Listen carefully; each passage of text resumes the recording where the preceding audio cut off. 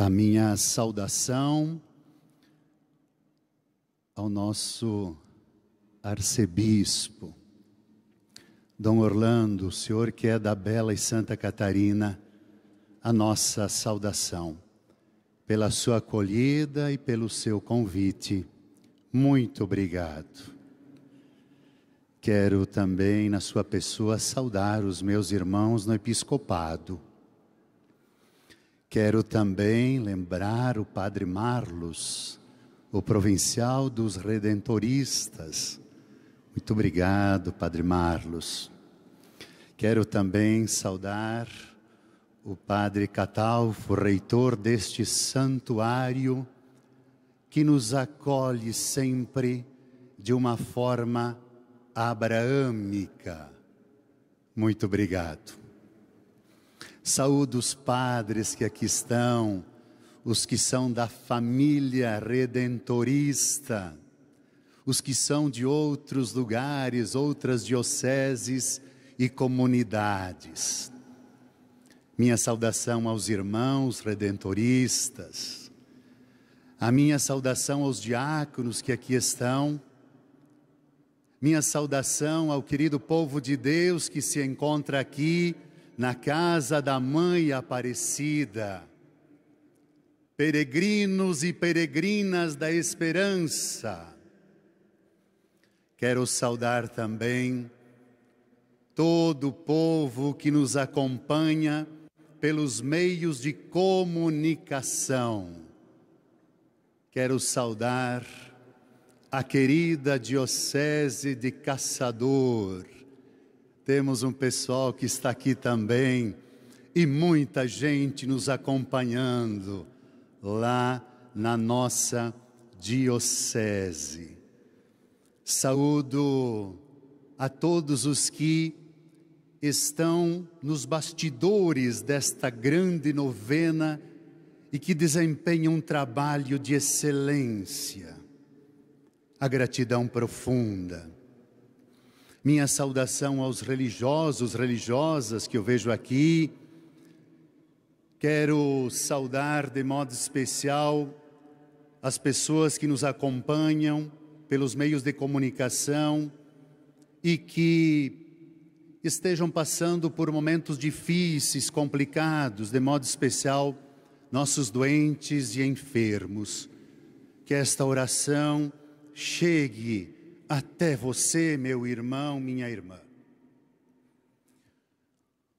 O grande tema desta novena, desta romaria, nos faz lembrar Maria, Mãe Aparecida, acolhei-nos como peregrinos da esperança. Maria nos acolhe Maria nos acolhe com toda certeza, porque ela também é mãe peregrina e ela acolhe os seus filhos e filhas neste espaço que é um oásis mariano. Neste espaço, neste santuário, com formato de cruz, esta grande árvore construída tijolo por tijolo, que quer ser e representar esta grande árvore que acolhe os peregrinos cansados, oprimidos, quebrados, necessitados. Esta grande árvore este grande carvalho de Mambré, que nos ajuda a entender e a compreender o que é a hospitalidade. Sim, hospitalidade, acolhida.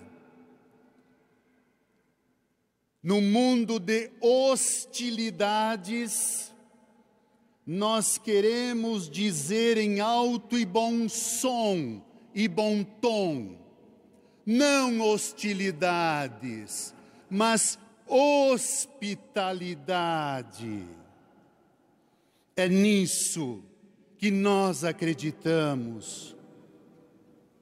Por isso, este oásis mariano, onde nós, peregrinos da esperança, viemos buscar a força, a luz, a proteção, um pouco de colo, um pouco de sombra nesta grande árvore que nos acolhe, este santuário mariano.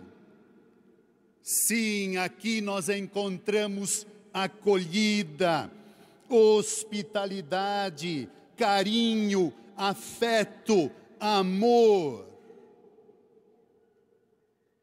esperança.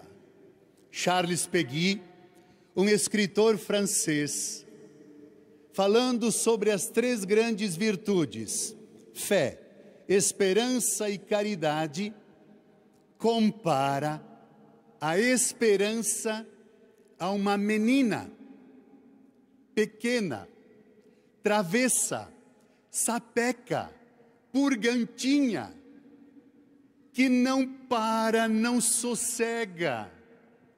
Sim, ele compara a esperança com uma menina pequena, que não sossega, não para, arrasta o pai, arrasta a mãe, arrasta a irmã, arrasta o vô, arrasta a avó. Hoje de manhã, na celebração que eu estava aqui, eu vi muitas esperancinhas. Sim, as crianças que são sempre muito bem-vindas nas nossas celebrações. E eu vi uma que há pouco, acredito, tinha aprendido a caminhar. Olha, arrastava a mãe, arrastava o pai, o vô, a avó, a irmã mais velha, para tudo que era canto, para tudo que era lugar esperança. Essa menina travessa sapeca que não pode deixar de nos arrastar, que deve sempre colocar a gente em movimento. Sim, essa pequena menina, esperança. O tema proposto para esta noite nos convida a nós refletirmos sobre a reconciliação, sobre o perdão. Estamos dentro destes sinais do jubileu, a peregrinação, a caridade, a porta santa, a indulgência, o perdão, a misericórdia. O Papa Francisco diz: Deus nunca se cansa de perdoar é nós que cansamos de pedir perdão. Sim, aqui é este oásis onde nós encontramos uma mãe de braços abertos, o seu filho com o seu imenso amor sempre pronto para nos arrancar das nossas misérias, dos nossos pecados e nos fazer andar como peregrinos da esperança. Nossa mãe, Maria, mãe de Aparecida, foi encontrada quebrada no Rio Paraíba. A nossa mãe entende quando a gente está quebrado, entende quando a gente está aos cacos. Entende quando nós estamos desintegrados por causa do mal, do pecado, das injustiças, de tudo isso. Ela nos entende, ela nos compreende. E sempre nos aponta o seu filho Jesus, aquele que nos reintegra, aquele que nos coloca novamente na nossa integridade fundamental de filhos e filhas de Deus. Aquele que nos recompõe, aquele que nos revitaliza, Sim. Queridos irmãos e irmãs, nós temos a certeza de um Deus que vem ao nosso encontro para nos abraçar, nos perdoar, nos oferecer a sua grande, imensa misericórdia. Vivemos tantas discórdias, corações separados, divididos e nada melhor do que buscarmos a concórdia, corações unidos,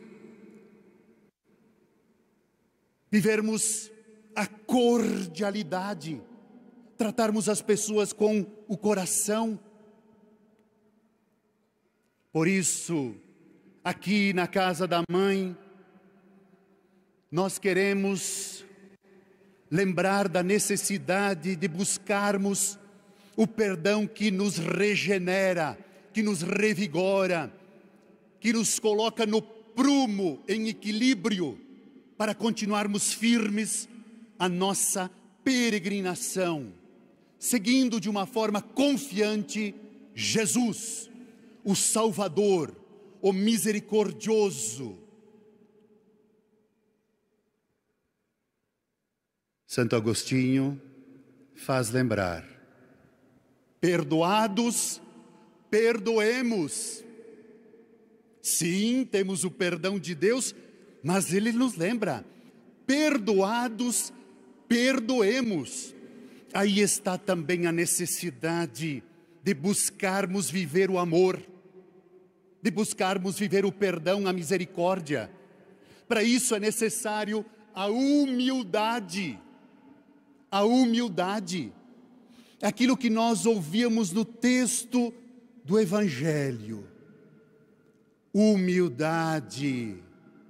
A humildade daquele publicano que não tinha coragem nem de erguer os olhos para o alto por causa das suas fragilidades e dos seus pecados. Humildade, humus, terra tem algo mais humilde do que a terra? Tem algo mais humilde do que a terra? Por isso, queridos irmãos e irmãs, humildade, para reconhecermos-nos pecadores frágeis e limitados, para também oferecermos o perdão àqueles que nos magoaram, e nos magoaram, quem sabe, profundamente nós não podemos deixar isso no nosso coração, que isso crie raízes, que isso tome o melhor das nossas energias. Não. O perdão faz bem. O perdão faz bem. Queridos irmãos e irmãs, Queremos, assim como o escravo Zacarias, nos libertarmos de tudo aquilo que nos aprisiona. Como o escravo Zacarias, queremos ver cair dos nossos corações.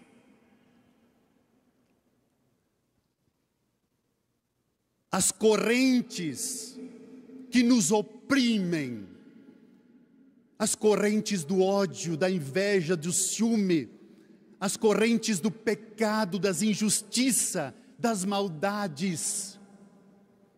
E em tempos como estamos vivendo, nada melhor do que clamarmos paz, perdão, reconciliação, misericórdia, diálogo, que deste carvalho de Mambré, que desta árvore que nos abriga, que daqui transbordem para toda a humanidade.